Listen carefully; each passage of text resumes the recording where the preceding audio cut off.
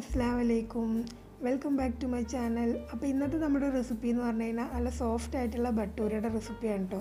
കണ്ണൂർ ഭാഗത്തൊക്കെ സൽക്കാരങ്ങളിൽ ഇങ്ങനത്തെ പങ്ക് വലുതാണെന്ന് കേട്ടിട്ടുണ്ട്. അതുപോലെ ഒരു കണ്ണൂർക്കാരിയുടെ വ്ളോഗിൽ നിന്ന് അടിച്ചു മാറ്റിയ റെസിപ്പിയും കൂടിയാണ് കേട്ടോ ഇത്.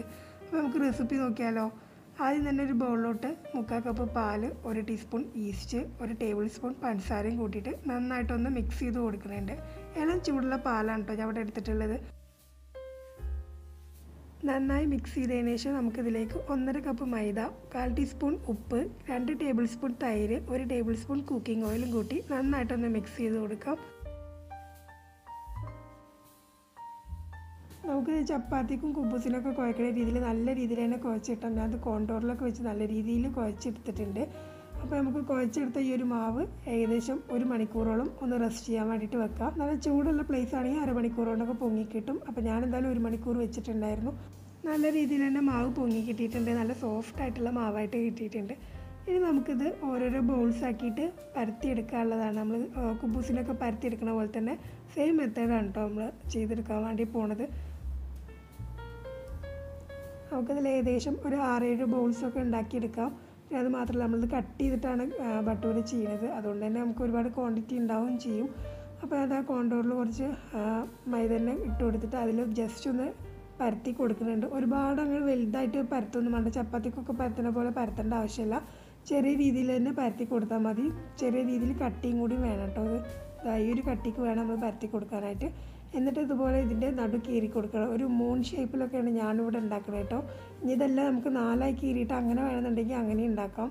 ഞാൻ ഒന്നുകൂടി എനിക്ക് ഇതാണ് എളുപ്പം തോന്നിയത്. അപ്പോൾ ഞാനിതാ ഈ ഒരു മൂൺ ഷേപ്പിലാണ് ഒക്കെ ഉണ്ടാക്കിയെടുക്കുന്നത് ഇനി നാലാക്കിയിട്ട് ഉണ്ടാക്കണം എന്നുള്ളവർക്ക് ഇതാ ഇതുപോലെ വലുതാക്കി പരത്തിയതിനു ശേഷം ഇതിനെ നാലായിട്ട് ഡിവൈഡ് ചെയ്താൽ മതി. ഇങ്ങനെ ഉണ്ടാക്കാറുണ്ട് കേട്ടോ ബട്ടൂര. അപ്പോൾ ഞാൻ കൂടുതലും അങ്ങനെയാണ് മൂൺ ഷേപ്പിലാണ് ചെയ്തിട്ടുള്ളത്. അപ്പോൾ എന്തായാലും ഞാനിതെല്ലാം ഇവിടെ പരത്തി എടുത്തിട്ടുണ്ട്. ഇനി നമുക്ക് ഓരോന്നായിട്ട് എണ്ണയിലിട്ട് ചുട്ടെടുക്കാം. അതിനായിട്ട് ഞാൻ അടുപ്പത്തൊരു ചട്ടി വെച്ചിട്ടുണ്ട്. അതിലേക്ക് ഇത് പൊരിച്ചെടുക്കാൻ ആവശ്യത്തിനുള്ള എണ്ണ ഒഴിച്ചു കൊടുക്കുക എണ്ണ നന്നായി ചൂടായതിനു ശേഷം ഫ്ലെയിം മീഡിയത്തിലോട്ട് ഇട്ടതിന് ശേഷം മാത്രം നമ്മൾ വട്ടൂരൊക്കെ ഇട്ട് കൊടുക്കുക.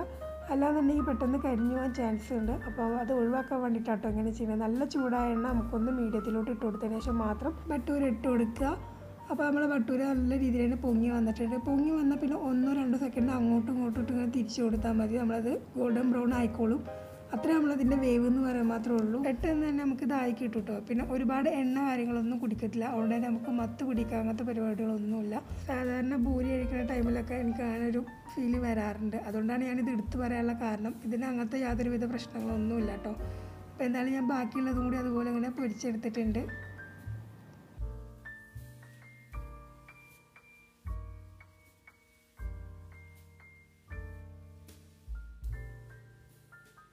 വീട്ടിൽ വിരുന്നുകാരൊക്കെ വരുമ്പോൾ അവർക്ക് ഉണ്ടാക്കി കൊടുക്കാൻ പറ്റാവുന്ന ഒരു അടിപൊളി പലഹാരമാണ് കേട്ടത് നമ്മളടുത്ത് അധികമുള്ള ഇൻഗ്രീഡിയൻസ് ഒക്കെ വെച്ചിട്ടാണ് നമ്മൾ ഈ ഒരു പലഹാരം ഉണ്ടാക്കിയിട്ടുള്ളത്.